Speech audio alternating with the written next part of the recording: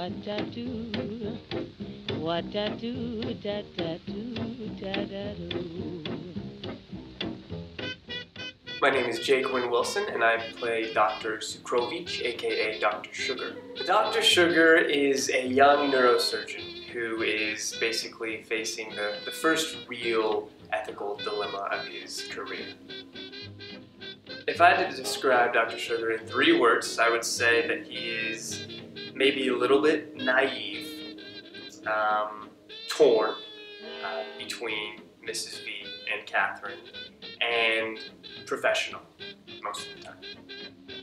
This is the first Tennessee Williams play I've ever done. The, the language that Tennessee uses, I think, is uh, it's it's got this poetic beauty, um, this kind of uh, like sultry elegance to it.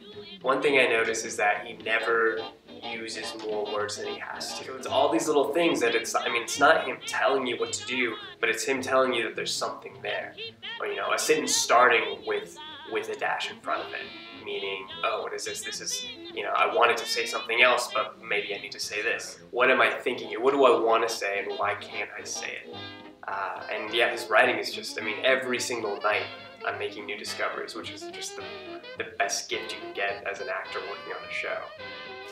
I think the most compelling part of the story is the relationship between Mrs. Venable and her son Sebastian. It makes you think of when, when is unquestioning, unconditional love a good thing, and when can it be harmful?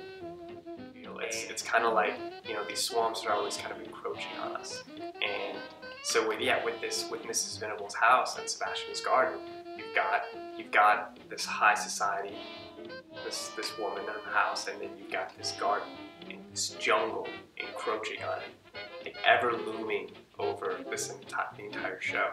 If Dr. Sugar was a cocktail, I would say that he would be a Manhattan, because like a Manhattan, Dr. Sugar is a transplant to New Orleans. Uh, it would be with bourbon, um, obviously. And I would say that Dr. Sugar would take it, shake it, not stir.